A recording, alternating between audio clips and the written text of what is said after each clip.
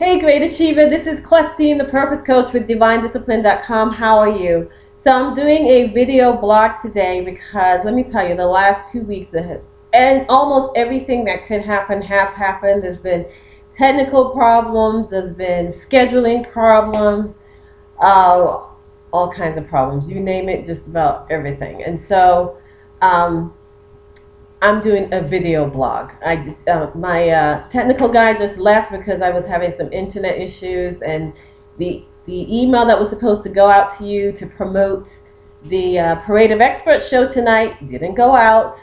So I'm going to do a video blog to make it really quick. So tonight is a special night, and I'm so praying and hoping that you could go. Whitley Phipps, Wintley Phipps is my guest tonight. I'm so excited. If you don't know who he is, just Google his name and you'll see it in the email below, Wintley Phipps. He is a renowned gospel artist. He's um, an entrepreneur, a minister. Um, he has an academy called US Dream Academy, so you can Google that. Just Google his name and you will get a whole bunch of stuff about him.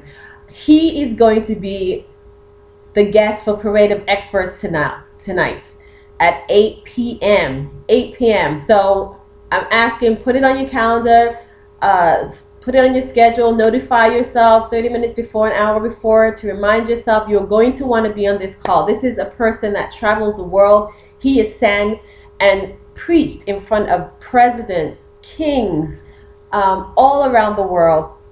And he's graciously agreed to allow me to interview him tonight so he can share with us some great nuggets.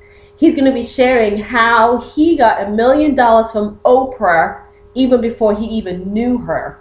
And he's going to be sharing how he got from being a little boy in Tobago to uh, being a world renowned gospel artist. So it doesn't matter where you came from. I want you to be on the call because he's going to be sharing some nugget, nuggets that you can use for your business, how to manifest more in your life and your business because that's what we all want, right? How to strategically get it, how to spiritually get it. That's what we want. So definitely be on this call. Call your friends, your family, your colleagues, your neighbors. Forward them the email to register divinediscipline.com slash Wintley Phipps, W I N T L E Y P H I P P S.